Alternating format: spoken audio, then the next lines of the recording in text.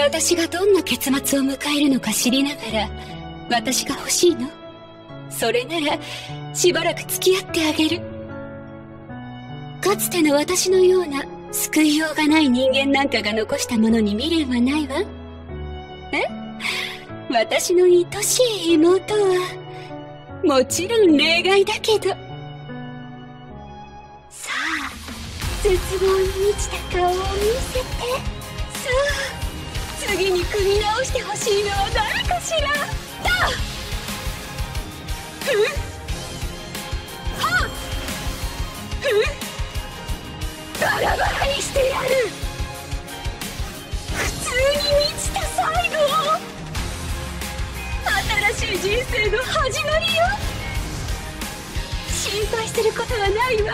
またすぐ組み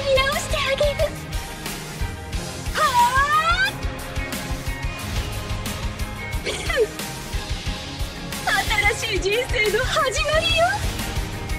少なくともあの子だけは。